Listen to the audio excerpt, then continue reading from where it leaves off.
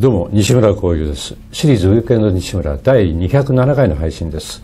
えー、10月の27日配信号となります、えー、今日はですね、えー、沖縄知事選挙と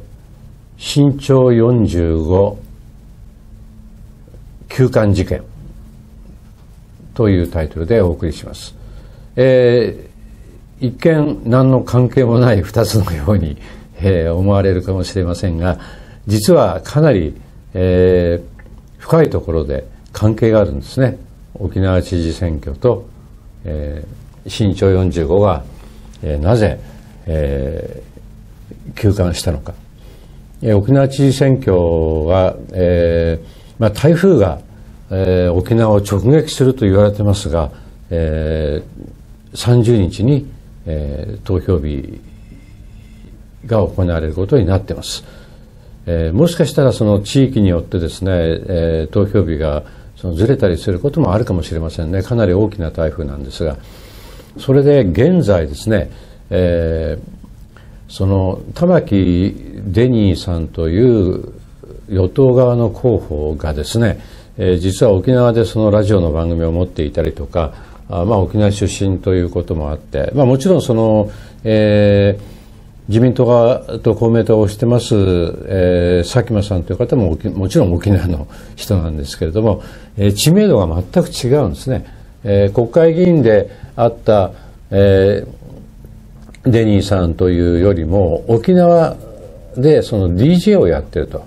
いう部分もありましてね、えー、それで、えー、その知名度もかなり違うそして、えー、しかも尾長前知事の意思を、えー、受け継いで立候補したという触れ込みになっているわけでそういう意味で、圧倒的に、えー、玉木さんが、えー、有利であるというように、えー、ずっと選挙前から言われていたんですがそれがですね、えー、この2週間ぐらいでかなり変わってきてもう今本当に、えー、完全に並んでいる。各種調査によりますとね沖縄から入ってくる情報でもそうです並んでいるかあるいはもうえ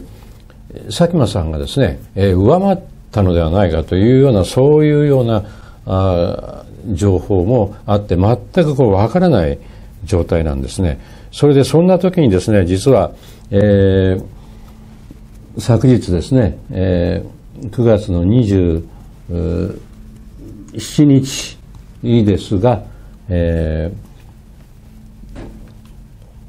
八重山日報という沖縄の地方紙があります。そこにですね、えー、アジア自由民主連帯協議会がですね、意見広告を出しました。ちょっとご覧ください。これです。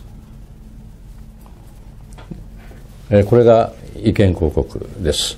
えー、沖縄は日本の誇り、日本代表だというキャッチフレーズ。私たちは沖縄と日本の分断に反対です。一国二制度は中国共産党の危険な罠です。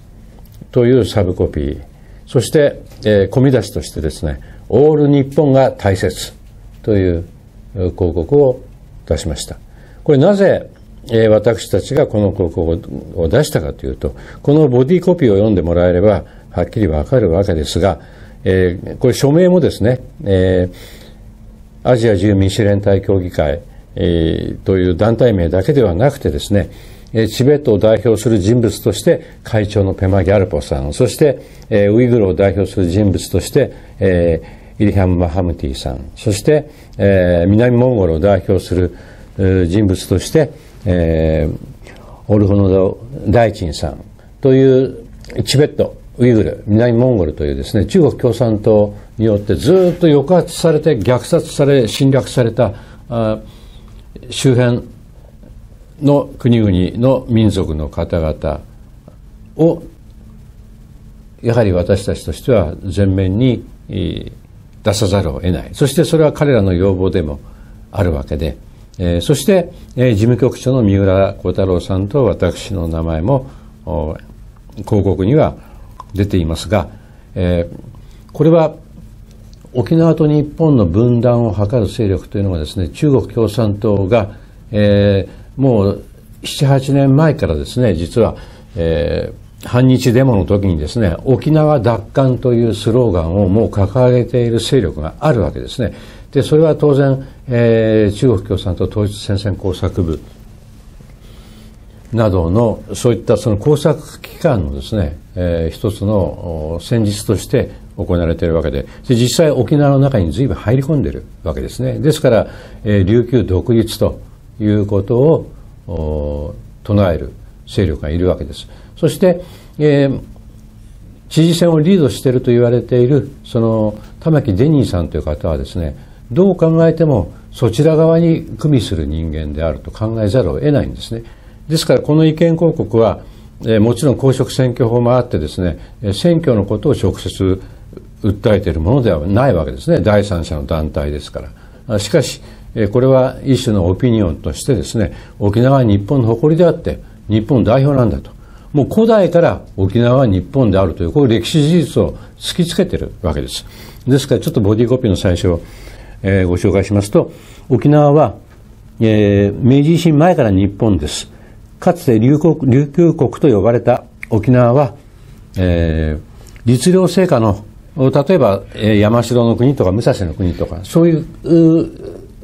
国と同じものであったと。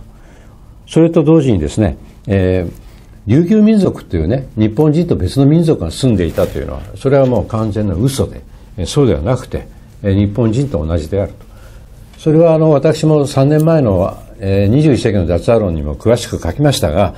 えー、要するに、えー、Y 染色体の遺伝子構造を調べればですね、Y 染色体というのは男系がつないでいく遺伝子ですね、DNA の。その染色体の遺伝子構造を調べればあアイヌとそれと日本列島の本土そして、えー、沖縄の人たちっていうのはですねほぼ同じ遺伝子構造を持っていてそして朝鮮半島や、えー、シナ大陸の漢民族朝鮮民族と遺伝子構造が違うんですね。ですから、えー、そのことも書いてあるわけです。それと私たち人間の遺伝子構造だけではなくてジャポニカ米と呼ばれている私たちが普段食べているお米もですね遺伝子構造がこれは、えー、朝鮮半島のお米とも違うわけで、えー、ベトナムを通を通して、えー、沖縄経由して、えー、日本列島に渡ってきた米というものがそれが、えー、日本の米であるそれともう一つ、えー、つい先日沖縄でその縄文遺跡の発掘が行われて沖縄には縄文遺跡があるんですよ。そして、それがですね、東日本の有名な縄文遺跡との土器と同じものが見つかっているわけで、えー、それはどういうことかというと、単に人が行き来してたということではなくて、同じ文化を持っていたということの証明にもなるわけですね。それだけ日本は沖縄であるということ、そして沖縄は日本であるということ。でむしろ、日本の原点が沖縄にあって、えー、神道のその、えー、非常に、えー、原始的な形であるものがですね、えーまあ、古神道という言葉ありますけども古い神道ですね、えー、沖縄でも昔からその神聖な場所と言われている宇多木というその場所がありますね何もない場所ですね石しかない場所そこに神が降りるというそういう言い伝えがあるわけですが、それはまさに古神道の世界である。そういうことを考えてもですね、沖縄は紛れもない日本である。しかし中国共産党が、えチベットや、えウイグル、そして、え南モンゴルを侵略して、え弾圧して文化を奪っていったと。同じことを沖縄にさせてはいけないということです。ですから、このような意見広告を出したんです。そして、えー、週刊新潮。じゃない、身長45、身長45はですね、えー、私が、えー、比較的好きな雑誌で、えー、ちょうど新しい連載を始めようかという話をしていた時にですね、いきなり休刊になったということで、それは個人の恨みではなくてですね、これは新潮社が、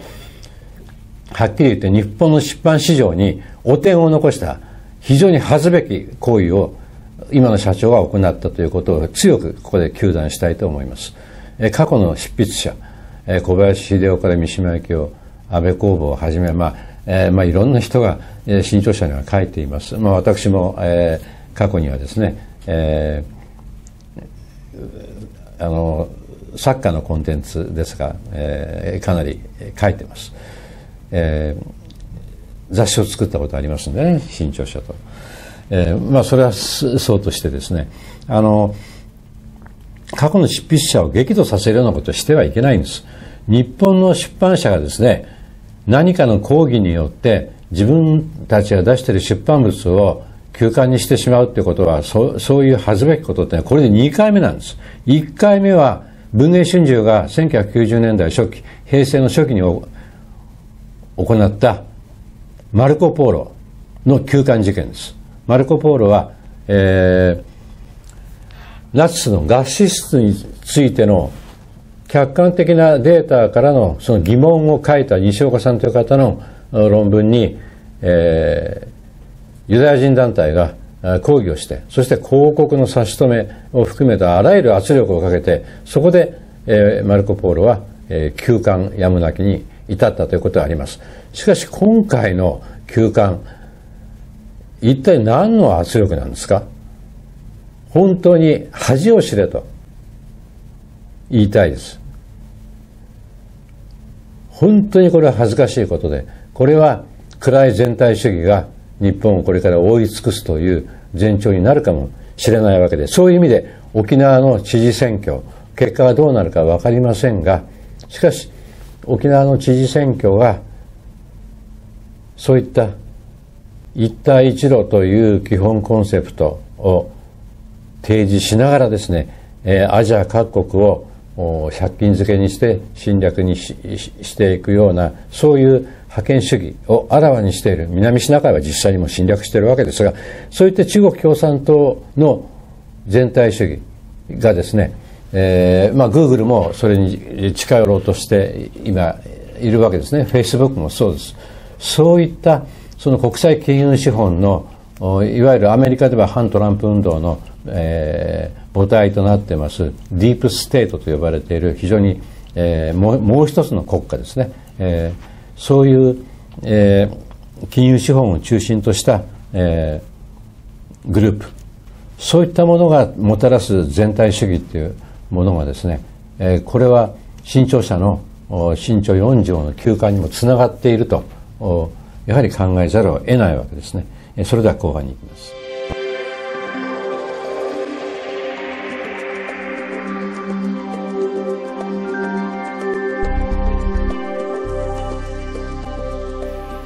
チャンネルアジアをご覧の皆さん、こんにちは。